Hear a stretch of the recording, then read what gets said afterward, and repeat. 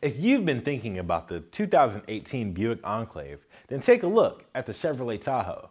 With safety in mind, the Chevrolet Tahoe delivers.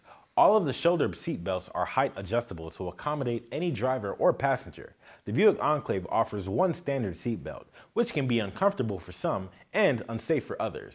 The National Highway Traffic Safety Administration crash test rates the Tahoe with 5 stars and the Enclave with only 4 stars due to its front crash rating for the passenger side. The Tahoe weighs anywhere from 750 to 1200 pounds more than the Enclave. Heavier vehicles are safer in collisions. The Chevrolet Tahoe comes standard with a limp home system designed to keep you from being stranded.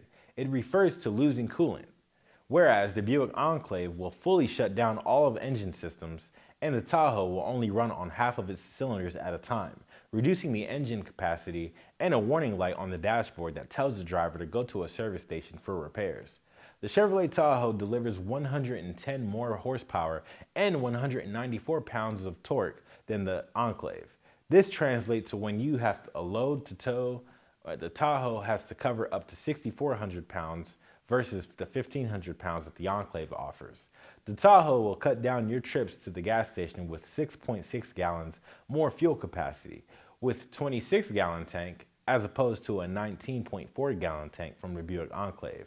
Come on down and see why the 2018 Chevrolet Tahoe trumps its competition with our free and exclusive 48 hour test drive.